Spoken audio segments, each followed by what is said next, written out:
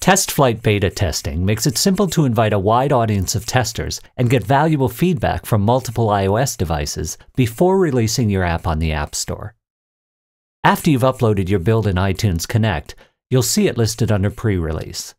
Remember, your build must contain the beta entitlement in order to use TestFlight. To inspect a build, just click on it. Here, you can enter specific details about what to test and a description of your app. You can also include an email address for collecting tester feedback, along with optional URLs for marketing and your privacy policy. This is what your testers will see when they access your app in TestFlight. To enable internal testers for your account, go to Users and Roles in iTunes Connect. Here you can enable any existing admin or technical user as an internal tester for your account. Just click on the user, and then turn on Internal Tester, and click Save. Now, go back to pre-release for your app and switch on testing for the version. Click on Internal Testers and you'll see all of the testers you've enabled for your account. To invite any of them to test this version, just click the box next to their name.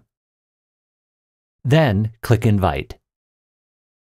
You'll see their status change to invited, and they'll receive an email inviting them to test out your app. Once they accept, you'll see their status update in iTunes Connect. Now they simply need to install the TestFlight app and then the pre-release build. Once they do, you'll see their status update again in iTunes Connect, and you can see the latest build that they've installed on their device. When you're ready to invite external testers, your build needs to go through Beta App Review.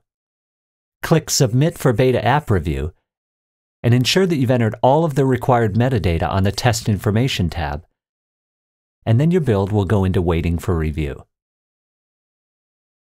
Now you can add external testers from the External Testers tab.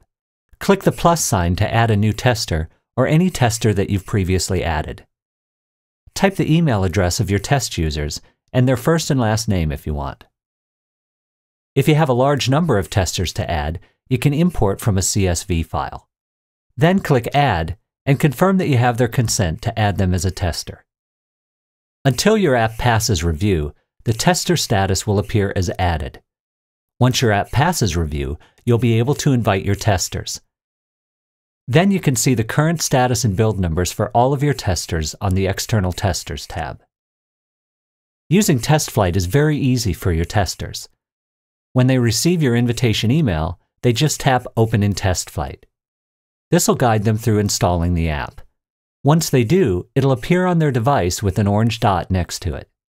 They'll automatically receive new app updates through TestFlight, and they can view the number of days remaining for testing of that build. Testers can also submit feedback through the TestFlight app by clicking Send Feedback on the product page for the app. Here are a few things to remember. You can have up to 25 internal testers per account and up to 1,000 external testers per app. Builds can be tested for up to 30 days, and that countdown begins when the initial invites are sent, not when the user begins testing. You can upload a new build to continue testing after 30 days. You can turn off testing at any time. And TestFlight requires iOS 8 or later.